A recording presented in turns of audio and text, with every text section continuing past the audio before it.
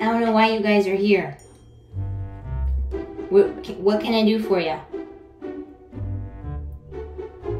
I don't need no help. No, I don't. Can you can you guys come back later? Mama's trying to do her business here.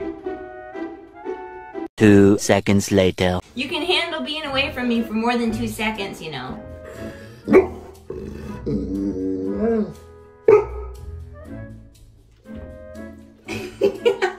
Not gonna. Oh my goodness. Oh my goodness. You guys, you. Go